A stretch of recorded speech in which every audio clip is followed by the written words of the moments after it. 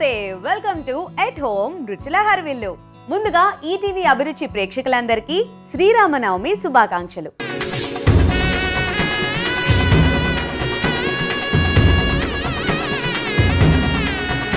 మరి ఈ శ్రీరామనవమి సందర్భంగా మనం ఈ రోజు చేసుకోబోయే ఆ రెండు స్పెషల్ రెసిపీస్ ఏంటి? తెలుసుకోవాలనుంది కదా?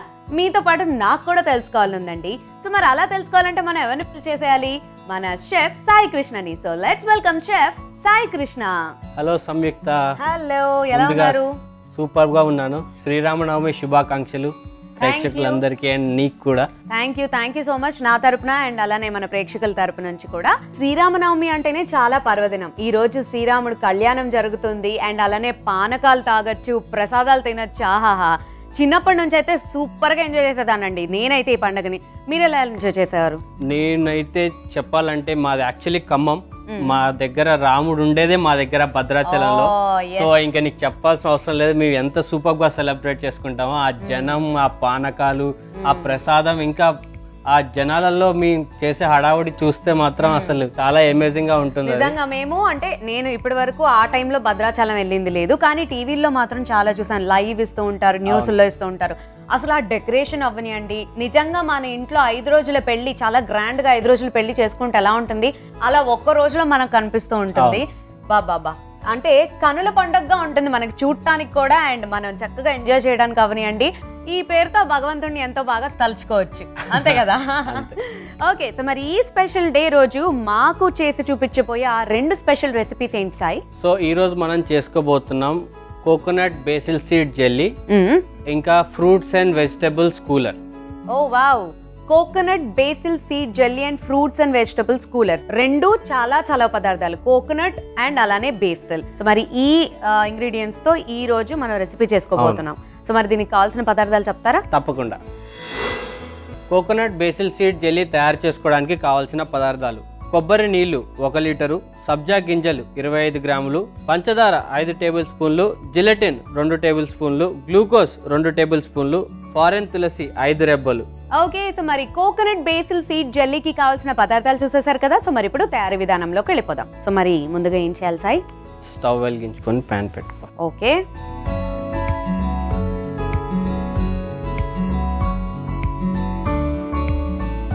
ఓకే సో స్టవ్ వెలిగించేసాం పాన్ పెట్టేసాం. ఇప్పుడు నెక్స్ట్ ఇందులో కొంచెం మనం వాటర్ యాడ్ చేసుకో ఓకే ఎక్కువ కాదు చాలా కొద్దిగా.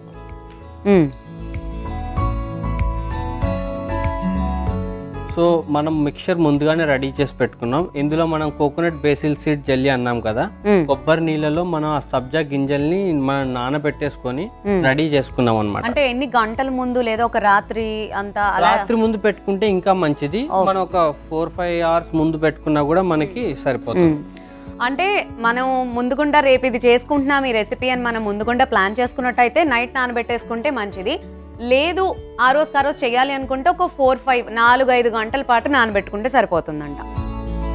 సో స్పెషల్లీ ఇప్పుడు మనకి సమ్మర్ కాబట్టి ఇలాంటి రెసిపీస్ మనం కంపల్సరీ ట్రై చేయాల్సిందే. ఎస్ ఇవి చూస్తుంటే నాకు ఎలా అనిపిస్తున్నాయి అంటే చిన్నప్పుడు సాఫ్ట్ టాయ్స్ తయారు చేసేటప్పుడు వాటి ఐస్ పెడతారు.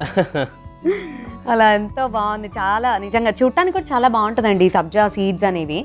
అండ్ ఎంత చలువ అంటే దీన్ని మీరు ఏ ఫామ్లో అయినా తీసుకోవచ్చు. జనరల్గా మనం షర్బత్లో వేసుకుంటాము లేదా ఫలూదాస్లో వేసుకొని తింటాము లేదంటే ఐస్ క్రీమ్స్ లేదంటే ఫ్రూట్ సాలెడ్స్లో వాటిల్లో.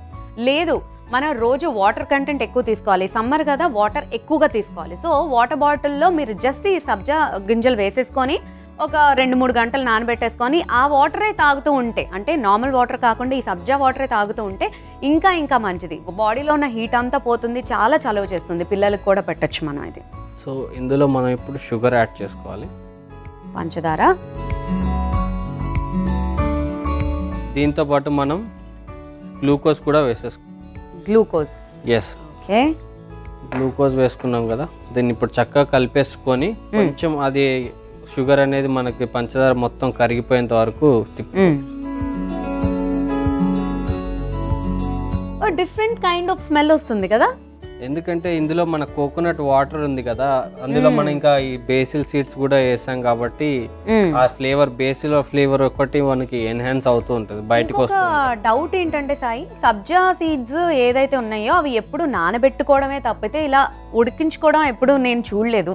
సో ఇలా ఉడికించుకోవచ్చా? వాటిని ఉడికించుకోవచ్చు. టేస్ట్ ఏం మారదు? ఏం మారదు. ఓకే. అయినా కూడా అవి టేస్ట్లెస్ ఉంటాయి కాబట్టి. లేదు వాటిలో టేస్ట్ ఉంటుంది. కాకపోతే పెద్దగా మనకి బయట. తెలియదు అనమాట. ఎందుకంటే మనం ఆ పైన లేయర్ వచ్చేస్తుంది కాబట్టి మనకు ఆ గింజలో ఉండే ఫ్లేవర్ తెలియదు జస్ట్ ఆ క్రంచినెస్ మాత్రమే ఉంటుంది ఆ సీడ్స్ ఓకే మూత పెట్టేసుకోవచ్చా ఇప్పుడు? అవును. కొద్దిసేపు అలా మూత పెట్టేస్తాం. సో ఎంతసేపు దాదాపుగా మనం ఇలా ఒక మరిగించుకోవాలి? ఫైవ్ మినిట్స్ మరిగించేసేసుకొని ఆ షుగర్ మొత్తం మిక్స్ అయిపోయిన తర్వాత మనం జిలెటిన్ యాడ్ చేసుకోవాలి. జిలెటిన్ యాడ్ చేసుకొని అప్పుడు ఒక ఫైవ్ టెన్ మినిట్స్ కొంచెం ఉడికిన తర్వాత ఆ జిలెటిన్ మొత్తం కరిగిపోయి. మనకి జెల్లీ ఫామ్ అయ్యేంత కన్సిస్టెన్సీలో రావాలి. సో ఒక మొత్తం రెసిపీ తయారవ్వడానికి మనకి ఇంచుమించు ఎంత ఆ, టైం ఒక పడుతుంది? Twenty twenty five minutes twenty to twenty five minutes okay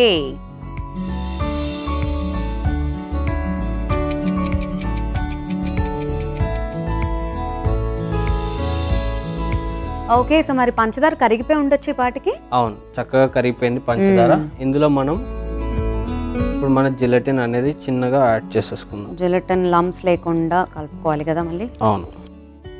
so gelatine add చేసేది కూడా మనం టెంపరేచర్ అది చూసుకొని యాడ్ చేసుకోవాలా? అవును. ఎందుకంటే జిలెటిన్ కొన్ని స్టేజ్ వచ్చేసరికి ఏమవుతుందంటే మిక్స్ అవ్వదు అనమాట సరిగా. ఓ. సో దీన్ని అలా చక్కగా కలిపేసుకొని కొంచెం జిలెటిన్ కడిగిన తర్వాత మనం ఉడికించుకోవాలి ఒక ఫైవ్ మినిట్స్. ఆ తర్వాత మనకి రెడీ అయిపోయింది ఓకే. జిలెటిన్ కరిగిపోయింది కదా కొంచెం ఒక మూత పెట్టేసుకొని మనం ఒక ఫైవ్ టెన్ మినిట్స్ అలా ఉడుకు వచ్చేంత వరకు మనం దాన్ని ఉంచేసుకోవాలి. అంటే ఆ బాయిలింగ్ పాయింట్ రావాలి. అవును.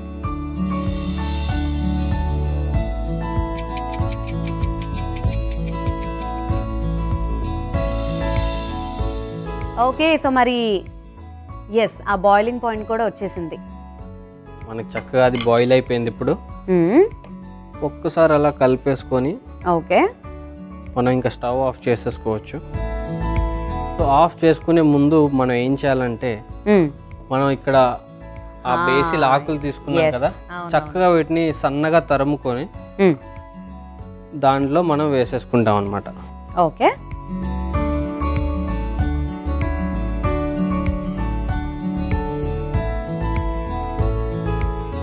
ఇవి చాలా మంచిది యాక్చువల్లీ మన సబ్జా గింజలు ఏవైతే ఉన్నాయో.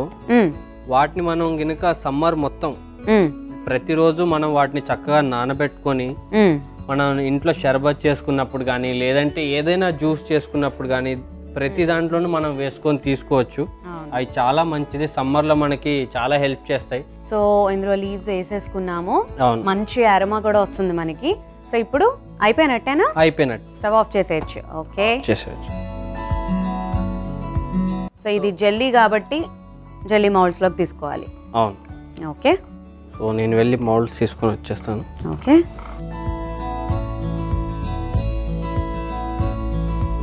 సో ఇందులో మనం జెల్లీ మోల్డ్స్లోకి తీసేసుకుందాం. ఓకే. సో చూసావా? జెల్లీ మోల్డ్స్లో మనకి చక్కగా బేసిల్ ఆకులు కానీ ఆ సబ్జా గింజలు కానీ చాలా క్లియర్గా కనిపిస్తాయి చాలా చాలా బాగా క్రిస్టల్ క్లియర్ అంటారు కదా? అలా ఉందండి.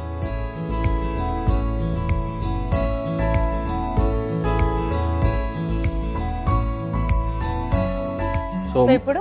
స్టోర్ కూడా చేసుకోవాలి కాబట్టి. మనం స్టోరేజ్ కూడా ఒక బౌల్లో తీసేసుకున్నాం దీన్ని.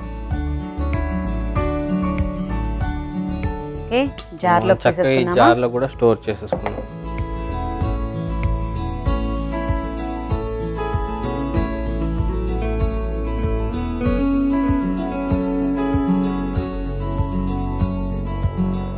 ఓకే జార్లోకి తీసేసుకున్నాము. అండ్ ఇక్కడ జెల్లీ మౌల్స్లో కూడా తీసేసుకున్నాము. కాకపోతే ఇప్పుడు ఇది టేస్ట్ చేయడానికి కుదరదు. ఎందుకంటే ఇది జెల్లీ ఫామ్ అవ్వాలంటే ఫస్ట్ రూమ్ టెంపరేచర్లోకి సెట్ చేసుకోవాలి. సో ఇది జెల్లీ ఫామ్ అయ్యాకనే టేస్ట్ చేయాలి కాబట్టి ఇది జెల్లీ ఫామ్ అయ్యే లోపు మరి ఈ కోకోనట్ బేసిల్ సీడ్ జెల్లీకి కావాల్సిన పదార్థాలు తయారీ విధానం మరోసారి మీకోసం. కోకోనట్ బేసిల్ సీడ్ జెల్లీ తయారు చేసుకోవడానికి కావాల్సిన పదార్థాలు. కొబ్బరి నీళ్ళు ఒక లీటరు సబ్జా గింజలు ఇరవై ఐదు గ్రాములు పంచదార ఐదు టేబుల్ స్పూన్లు జిలెటిన్ రెండు టేబుల్ స్పూన్లు గ్లూకోజ్ రెండు టేబుల్ స్పూన్లు ఫారెన్ తులసి ఐదు రెబ్బలు. కోకోనట్ బేసిల్ సీడ్ జెల్లీ తయారు చేసుకునే విధానం. ముందుగా స్టవ్ ఆన్ చేసి పాన్ పెట్టి అందులో కొద్దిగా నీళ్ళు పోసి అందులో ముందుగా కొబ్బరి నీళ్ళల్లో నానపెట్టుకున్న సబ్జా గింజల్ని వేసి రెండు నిమిషాల పాటు మరిగించి అందులో పంచదార గ్లూకోజ్ వేసి మరో ఐదు నిమిషాల పాటు మరిగించాలి. మరిగిన తర్వాత జిలెటిన్ వేసి ఐదు నిమిషాలు మరిగించి అందులో చిన్న చిన్నగా కట్ చేసి పెట్టుకున్న బేసిల్ ఆకుల్ని వేసి బాగా మిక్స్ చేసి స్టవ్ ఆఫ్ చేసి జెల్లీ మౌల్స్లోకి తీసుకొని జెల్లీ ఫామ్ అయ్యేంత వరకు ఉంచి సర్వ్ చేసుకోవాలి. అంతే యమ్మీ యమ్మీగా ఉండే coconut basil seed jelly ready ఈ కోకోనట్ బేసిల్ సీడ్ జెల్లీని వారం రోజుల పాటు ఫ్రిడ్జ్లో నిల్వ పెట్టుకోవచ్చు. మరి కోకోనట్ బేసిల్ సీడ్ జెల్లీకి కావాల్సిన పదార్థాలు తయారీ విధానం చూసేసారు కదండి. సో మరి ఇప్పుడు టేస్ట్ చేసే ముందు ఇది జెల్లీ ఫామ్ అయ్యేంత వరకు వెయిట్ చేద్దాం. సో దానికోసం పక్కకు పెట్టేసుకుందాం. రూమ్ అవును. టెంపరేచర్కి సెట్ అయ్యేదాకా.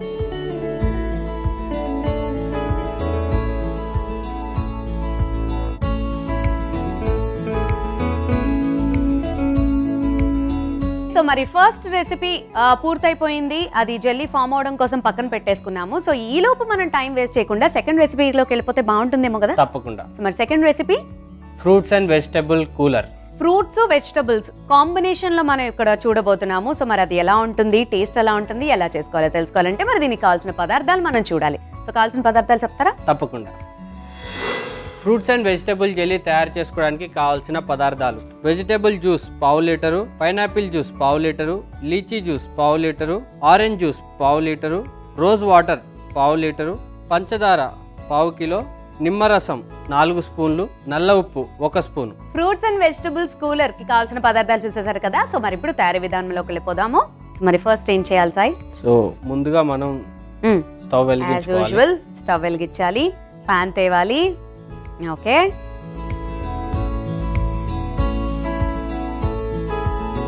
సో ఇందులో మనం కొంచెం వాటర్ యాడ్ చేసుకోవాలి. ఓకే.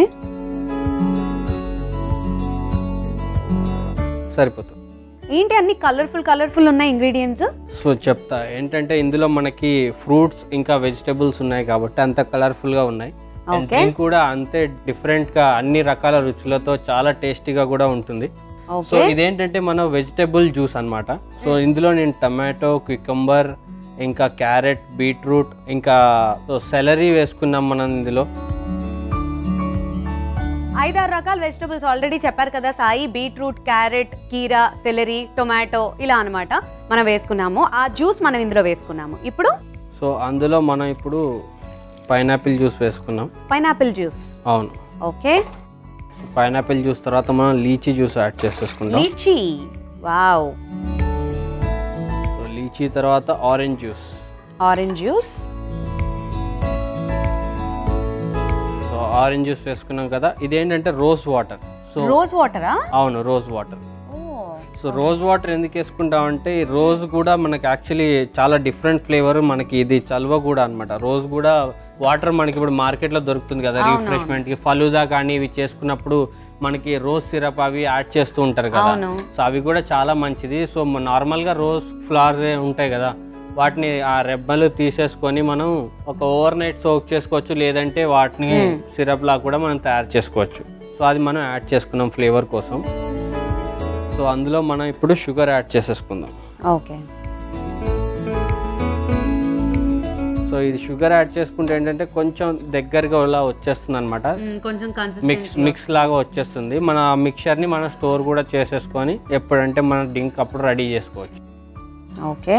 సో అన్ని ఇంగ్రీడియంట్స్ వేసేసుకున్నాం. ఒక్క లెమన్ జ్యూస్ మాత్రం ఉంచాము. లెమన్ జ్యూస్ ఇంకా నల్ల ఉప్పు మనకి పెండింగ్లో ఉంది. పెండింగ్లో ఉంది. ఓకే. అది షుగర్ మొత్తం కరిగిపోయిన తర్వాత చాలా అంటే ఒక ఇది కొంచెం బాయిలింగ్ పాయింట్ వచ్చేసిన తర్వాత మొత్తం హీట్ అయ్యి చక్కగా ఫ్లేవర్స్ అన్ని మిక్స్ అయిన తర్వాతకి మనం అప్పుడు లెమన్ జ్యూస్ ఇంకా నల్ల ఉప్పు యాడ్ చేసేసుకో ఓకే సో మనం ప్రస్తుతానికి ఏవైతే జ్యూసెస్ ఉన్నాయో అన్ని జ్యూసెస్ ఒకదాని తర్వాత ఒకటి యాడ్ చేసేసుకున్నాము. సో ఇది బాయిలింగ్ పాయింట్ వచ్చే వరకు మనం వెయిట్ చేయాలి. మూత పెట్టాలా? ఓకే ఓకే బాయిలింగ్ పాయింట్ వచ్చింది కదా ఆల్మోస్ట్ ఆల్మోస్ట్ రెడీ అయిపోయింది మనకి. ఇది ఒకసారి కలిపేసుకుందాం. ఓకే? మనం ఇందులో పర్టికులర్గా ఈ ఫ్రూట్స్ అండ్ ఈ వెజిటబుల్స్ వేసాం కదా సాయి. అవి కాకుండా అంటే ఇప్పుడు మనం టొమాటో సెలరీ కీరా బీట్రూట్ క్యారెట్ ఇవన్నీ వేసుకున్నాం.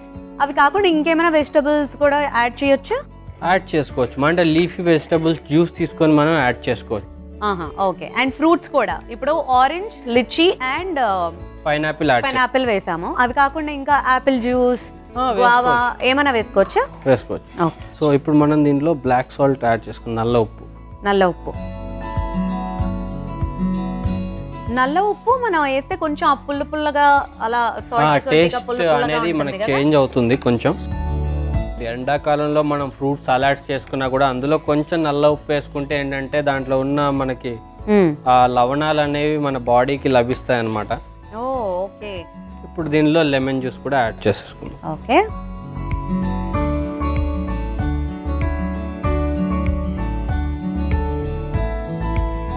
సో లెమన్ జ్యూస్ మనం ఎన్ని ఎన్ని టీ స్పూన్స్ వేసుకోవచ్చు? నాలుగు. నాలుగు. అంటే ఇది ఫ్రెష్ లెమన్ జ్యూస్ కాబట్టి ఒక నాలుగు స్పూన్లు వేసుకుంటే మనకి సరిపోతుంది.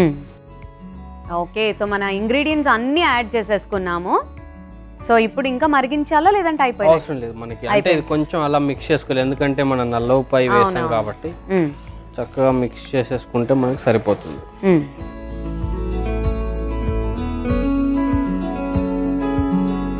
సో ఇది మనకి రెడీ అయిపోయినట్టే ఇంకా మనం దీన్ని స్టవ్ ఆఫ్ చేసేసుకొని మనం గ్లాస్లో సర్వీస్ చేసేసుకుంటాం ఓకే ఆఫ్ చేసేస్తున్నా. సో ఇప్పుడు దీన్ని డ్రింక్గా ప్రిపేర్ చేసి సర్వ్ చేసుకోవాలి.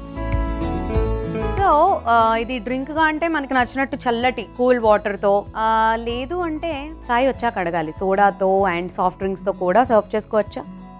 సోడాతో ఇంకా సాఫ్ట్ డ్రింక్స్తో కూడా సర్వ్ చేసుకోవచ్చా? లేదా ఓన్లీ వాటర్తో సర్వ్ చేసుకోవాలా? అంటే వాటర్తో చేసుకుంటే మనకి కావాలంటే అంటే కొంతమందికి స్వీట్ ఎక్కువగా కావాలనుకుంటారు. అలాంటప్పుడు వాళ్ళు షుగర్ యాడ్ చేసేసుకోవచ్చు. సో అలా చేసుకొని చేసుకోవచ్చు. లేదంటే ఈ మిక్చర్ సగం వేసుకొని సగం సాఫ్ట్ బేవరేజెస్తో కూడా మనం చేసుకోవచ్చు. ఓకే. అలా. దీన్ని మనం గ్లాస్లోకి తీసేసుకుందాం ఇప్పుడు. ఓకే.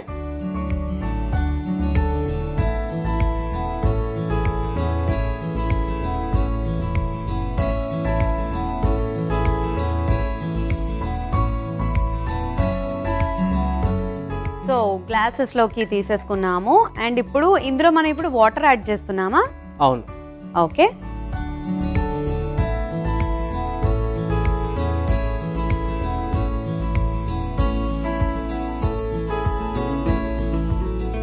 సో ఇందులో మనం స్ట్రాస్ వేసేసుకుందాం. ఓకే. సో ఇందులో మనం గార్నిష్ కోసం చిన్న కొంచెం పుదీనా ఆకులు అనేవి కొంచెం పైన అలా వేసేసుకుందాం ఓకే. సో పుదీనా ఆకులు. Fresh mint leaves. అలా పైన మనం వదిలేసుకోవాలి. సో మన డ్రింక్ అనేది ఇప్పుడు రెడీ అయిపోయింది. Fruits and vegetables cooler ready okay. Fruits and vegetables cooler ready అయిపోయిందండి. సో మరి ఇప్పుడు టేస్ట్ చేయడానికి నా చేతిలో రెడీగా ఉంది. కానీ దీన్ని టేస్ట్ చేసే ముందు ఫ్రూట్స్ అండ్ వెజిటబుల్స్ కూలర్కి కావాల్సిన పదార్థాలు తయారీ విధానం మరోసారి మీకోసం.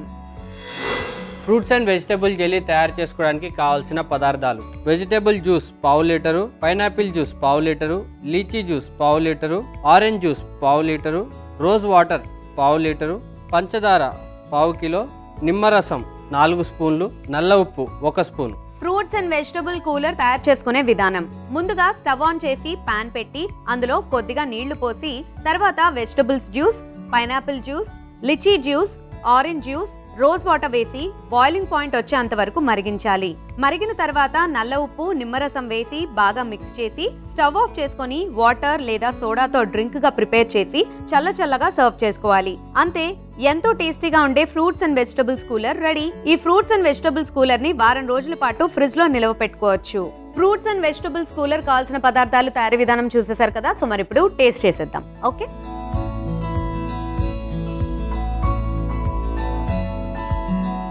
ఓకే? ఒక్కసారి మిక్స్ చేసేసి. వావ్! సూపర్గా ఉందండి. చాలా చాలా చాలా టేస్టీగా ఉంది. సో ఒక్కసారి సాయి. వావ్! అంటే ఆ నల్ల ఉప్పు వేసుకున్నాం కదా? నల్ల ఉప్పు ప్లస్ ఇంకా ఆ రోజ్ వాటర్. రోజ్ వాటర్ వచ్చేసి మనకి చాలా చక్కగా మిక్స్ అయ్యాయి. అన్నిటితో టేస్ట్తో కలిపి మనకు ఆ ఫ్రూట్స్ కానీ అంటే రోజ్ ఫ్లేవర్ కానీ ఆ నల్ల ఉప్పు ఫ్లేవర్ కానీ మనకి చాలా చక్కగా తెలుస్తుంది. అన్నీ బ్యాలెన్స్డ్గా పర్ఫెక్ట్ డ్రింక్గా తయారైంది. మన పానకం ఎలా అయితే తాగుతామో ప్రతి శ్రీరామనవమికి ఇది కూడా ఒక కొత్త రెసిపీగా మీరు ఆ పానకంతో పాటుగా ఇది కూడా మీరు ఈరోజు ట్రై చేయొచ్చు తప్పకుండా.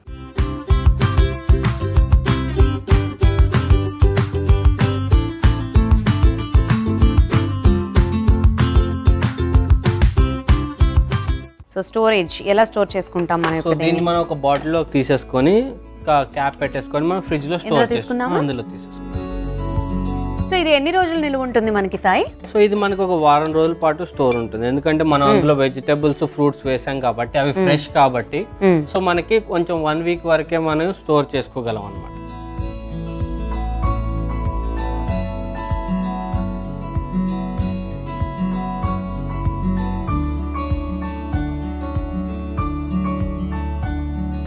సో ఇలాంటి బాటిల్స్ ఉంటాయి మనకి జార్స్ ఉంటాయి. లేదు అంటే వాటర్ బాటిల్స్ ఉంటాయి కదండి.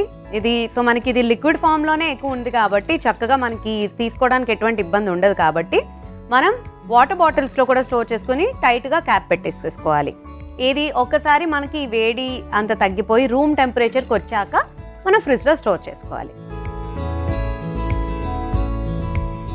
సో ఈ విధంగా మనం బాటిల్లోకి తీసేసుకొని. దీన్ని మనం ఫ్రిడ్జ్లో స్టోర్ చేసేసుకోవాలి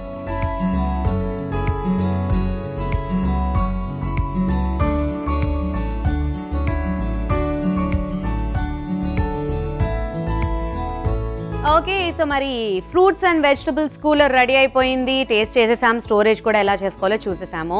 సో ఇప్పుడు మీరందరూ మర్చిపోయారా? నేను మర్చిపోలేదండి. సో మనం జెల్లీస్ ఆల్రెడీ జెల్లీ ఫామ్ అవడం కోసం పెట్టుకున్నాం కదా. సో మరి అది కూడా టేస్ట్ చేయాలి కదా. టేస్ట్ చేసేద్దామా? తప్పకుండా. సో మరి టేస్ట్ చేయడానికి రెడీగా ఉంది. టేస్ట్ చేసేద్దామా? తప్పకుండా. ఇంకెందుకు ఆలస్యం? ఓకే.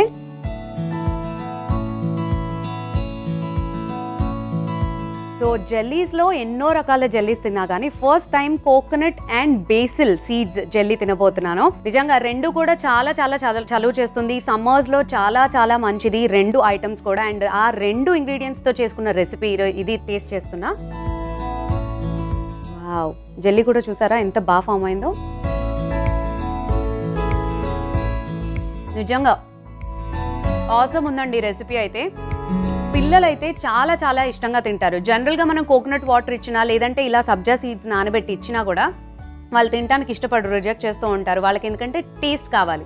సో వాళ్ళకి జెల్లీస్ అంటే చాలా చాలా ఇష్టం. సో ఆ జెల్లీ రూపంలో మనం ఈ ఐటమ్స్ని మనం ఈ ఇంగ్రీడియంట్స్ని వాళ్ళ వాళ్ళకి ఇస్తున్నాం కాబట్టి హెల్త్కి హెల్త్ అండ్ టేస్ట్కి టేస్ట్ తప్పకుండా ట్రై చేయాల్సిన రెసిపీ అండ్ సాయి?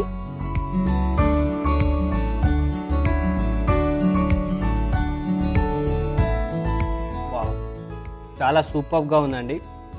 అంటే మనం అందులో బేసిల్ ఆకులు కూడా వేసుకున్నాం కాబట్టి ఆ చిన్న చిన్న ఆకులు కూడా పంట కింద నలుగుతూ చాలా చక్కగా ఉంది. సో తప్పకుండా మీరు ట్రై చేయండి. ఈ సమ్మర్లో మీరు తప్పకుండా ట్రై చేయాల్సిన జల్లీ ఇది.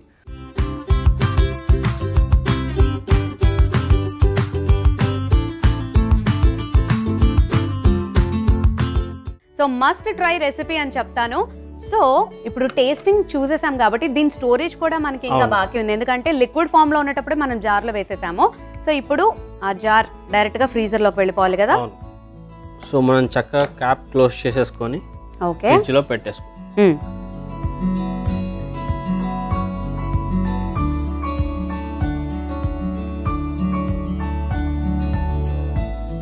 శ్రీరామనవమి సందర్భంగా రెండు స్పెషల్ రెసిపీస్ అని ఏవైతే చెప్పానో నిజంగా చాలా చాలా స్పెషల్గా ఉన్నాయి. తప్పకుండా ట్రై చేసి చూడండి. అండ్ మరి సాయి ఈ రోజు ఈ పర్వదినాన ఈ స్పెషల్ రెసిపీస్ మాకు తయారు చేసి చూపించినందుకు thank you so much thank you so మరి చూసారు కదండి ఇది నాటి ఎట్ హోమ్ రుచుల హర్విల్లు మరోసారి ఈటీవీ అభిరుచి ప్రేక్షకులందరికీ శ్రీరామనవమి శుభాకాంక్షలు తెలియజేస్తూ నేనైతే నెక్స్ట్ ఎపిసోడ్లో మరో రెండు టేస్టీ రెసిపీస్తో మీ ముందు ఉంటాను. అండలకి watching this Samyuktha with chef Sai Krishna signing off bye.